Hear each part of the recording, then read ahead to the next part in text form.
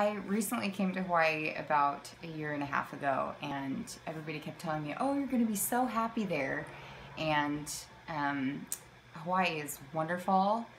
It's beautiful, and there's so many wonderful things about it. But I was still having so much um, pain with my health, as far as emotional, mental, physical and um, I, it wasn't until I came to see Dr. Joy that I really found joy in Hawaii.